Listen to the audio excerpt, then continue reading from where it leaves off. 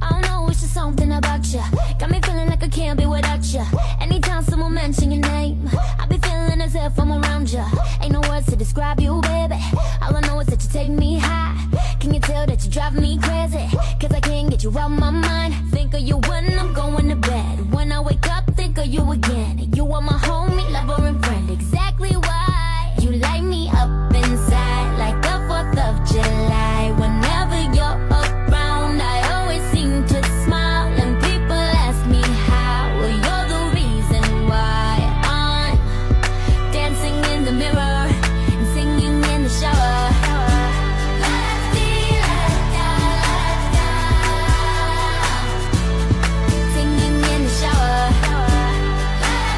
I'm sorry, what do you mean that you already knew? Oh, because we were left with a blanket that had the royal crest on it. And you didn't think to tell me at any point.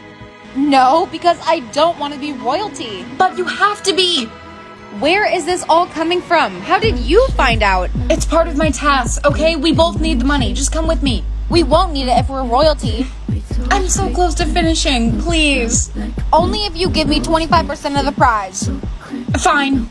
Oh, uh, you're back? Yeah, I am. And you brought your sister. Sup, motherfuckers?